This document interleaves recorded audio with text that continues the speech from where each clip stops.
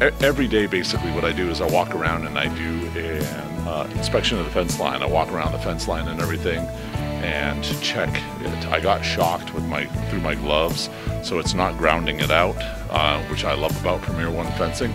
So uh, we have 200 foot of electric fencing, and the leaf buildup is uh, getting pretty good, kind of around the leaves like that right there, like you can see right there.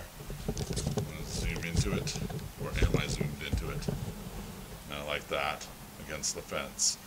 This is just a regular fence. Um, this is not. Uh, this is going to be a, chicken area. When the chickens get big enough that they cannot fit through here, that's when they'll be outside. Right now they're inside uh, in their coop room, the chicken coop room. but uh, then they're going to be moving into here.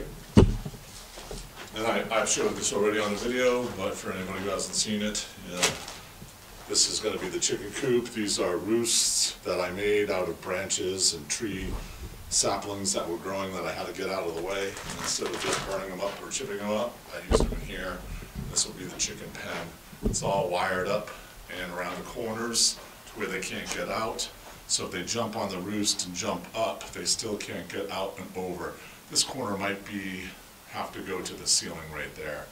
But then over here, you can see on the fencing, if they do jump up, it's around to the post right there where they cannot get uh, over it, and they won't be able to walk over it because I stapled it into the bottom, and it goes up pretty high to where they can't get out.